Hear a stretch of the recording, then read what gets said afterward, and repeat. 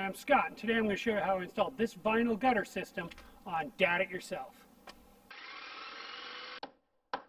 Hey, good morning everybody. So maybe this house is a little familiar to you. This was my gutter job from uh, a little over a year ago. I put these in. My most popular video ever. Uh, still holding up nice. As you can see they got a little debris in there. But we're going to clean those out. We're going to fix that up with some gutter guards later. But the project today is to put this run in along here. It's about 45 feet, straight shot with two downspouts. Uh, they had a branch come down out of one of these trees this winter during a windstorm and rip that gutter completely off the house. So we're going to put some new vinyl gutters on there with some gutter guards and should take a couple hours. Let's get started.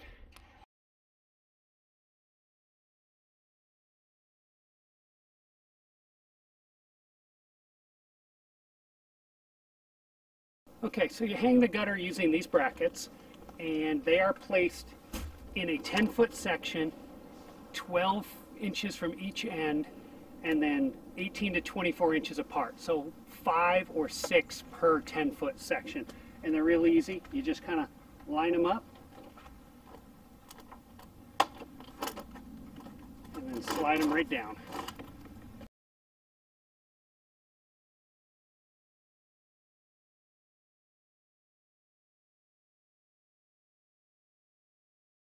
So if you buy the fasteners from Amerimax, they're a Phillips tip uh, screw with a white tip. I like to use these T25 stainless steel inch and a quarter. Um, they're a lot easier to put in, they don't strip, and if for some reason you have to take them back out, again, the Torx head is really easy to take them back out. So that's what I use. Okay, so this is the center bracket of the center section of gutter. So this is the high point. I'm to go ahead and drive this screw in and then follow the chalk line down as I work my way out towards the downspouts.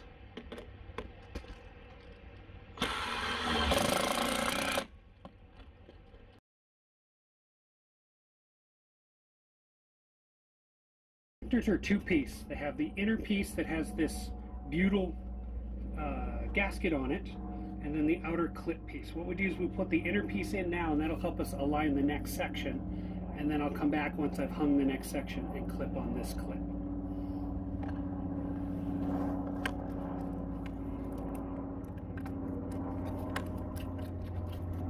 And as you can see, one gasket's still out and one gasket's in here.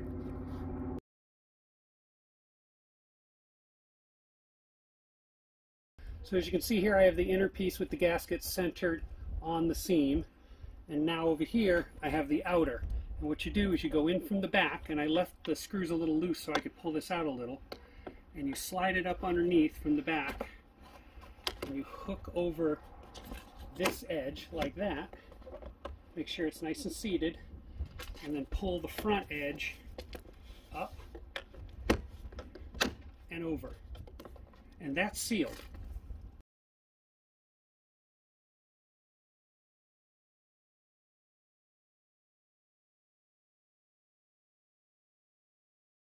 Okay, so hey, because we have less than 10 feet now, what I want to do is I put in the uh, downspout cradle, and then that'll give me a way to measure from the end of the last gutter section to the cradle.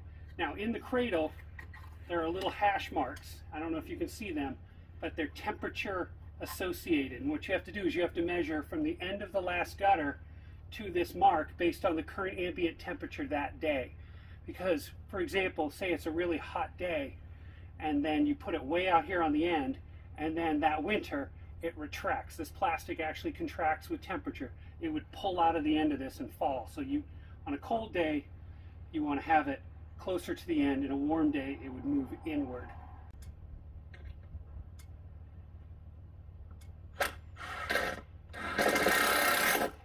Okay, so I've measured this gutter out. I need 77 inches from the end of the last 10 foot section down to the gutter downspout.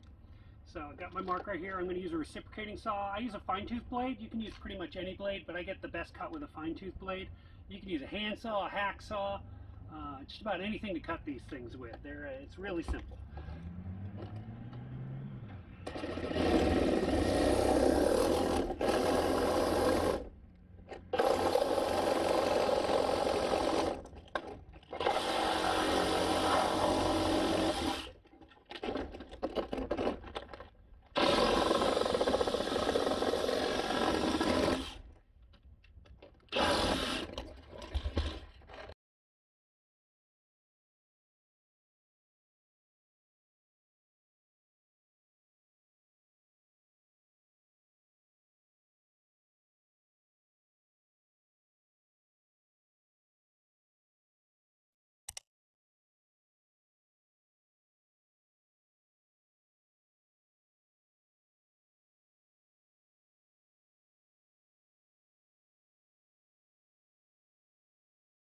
Okay, so the last section we got is the end piece that goes from the end of the roof down to the downspout. And have these nice little end caps with the uh, Buna gasket in there again. And you just fit that right on there. Get it in there. Takes a little bit of work. Just kind of work it around.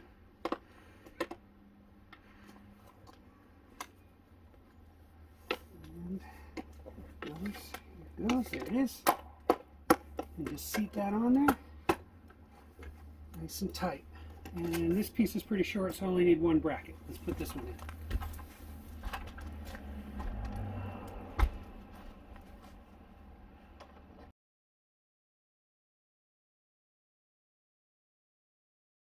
Okay, we are done.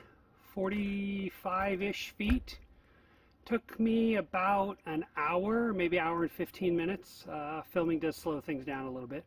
So next thing we need to do is put the downspouts on. One there, one over here, and the gutter guards.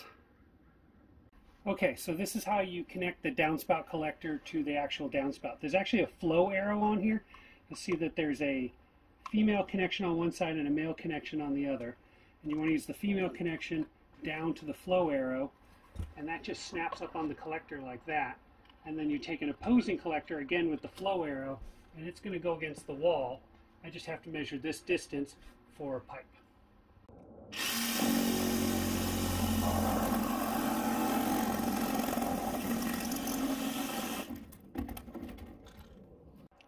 Okay, so you connect all the downspout pipes using these self-tapping screws with the little enamel heads on them and try to put the screws on the top sides of all the ducting so you don't create a leak in the pipe.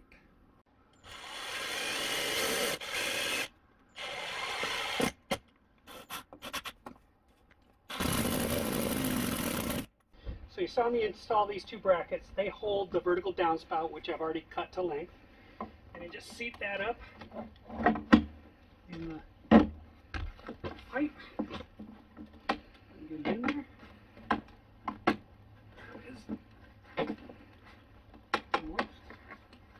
There it is.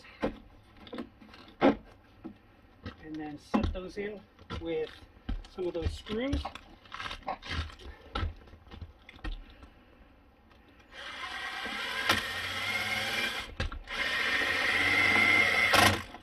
And I like to put a screw in the side of this clamp right here just as an extra measure to keep it from sliding out.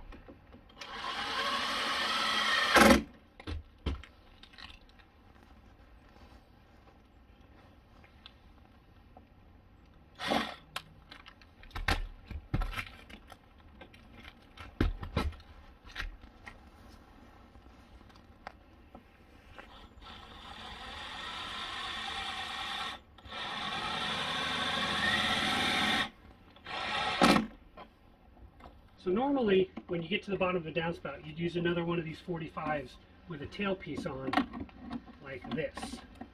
And then the water would just come out this way. But because the, ro the roof slopes this way, you don't want the water coming this way because it'll go up under the shingles. So they actually make this piece here that turns the pipe 90 degrees. So if I put this on here like this, you can see now the water is going to go down the roof this way.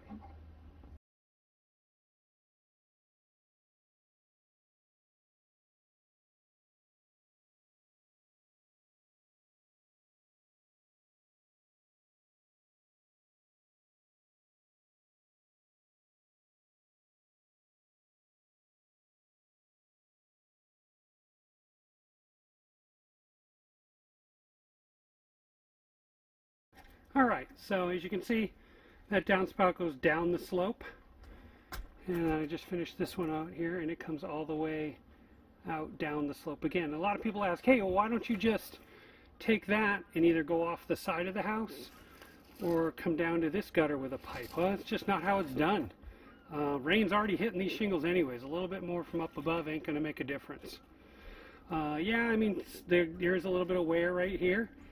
But uh, this is a 30 year roof and it's been here for a while and it's doing okay. Okay, so I'm putting the gutter guards in. I already put this front piece in, and pretty much what they do is they slide up under the shingles, and then they clip into the top of these brackets. And to go from the next one to the next one, obviously you want to get a, uh, a bracket as close to the seam as possible. But what you do is you actually take a little nip out of the end of this, about three and a half to four inches, and they overlap each other, and that actually provides that support for the joint so that nothing gets in between. And I just used a pair of metal snips like this, and I just cut it. And I can get it here. Like that. And like that. And I put it in.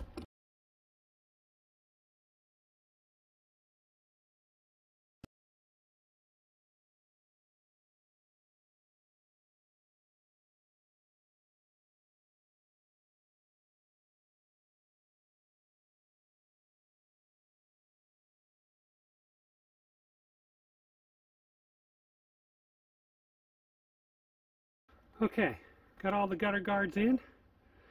Came out okay. That was my first time doing gutter guards. Um, my suggestion would be more brackets. Uh, that's probably about it, but it looks pretty good.